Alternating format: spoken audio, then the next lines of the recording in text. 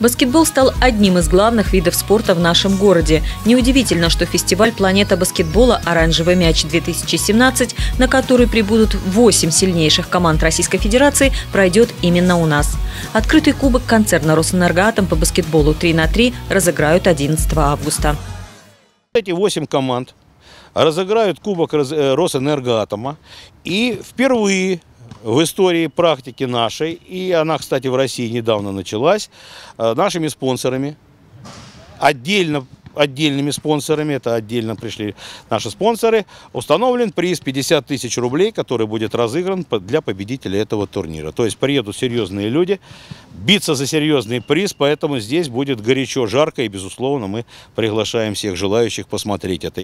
В этот же день состоится торжественное открытие второй очереди спортивного комплекса в четвертом микрорайоне. Эта площадка построена благодаря концерну «Росэнергоатом», «Смоленская АЭС» и администрации города по всем современным требованиям. Она застелена уникальным шведским покрытием, которое выдерживает любые температурные перепады.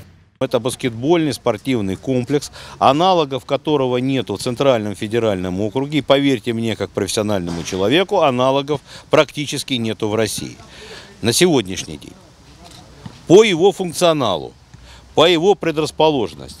Вторым моментом этого комплекса и плюсом является то, что так вот судьба распорядилась, мы этому очень рады, баскетбольное сообщество России, что в июне месяце баскетбол 3-3 был принят в олимпийскую программу, и в Олимпиаде в Токио уже будет присутствовать как отдельный вид спорта баскетбола.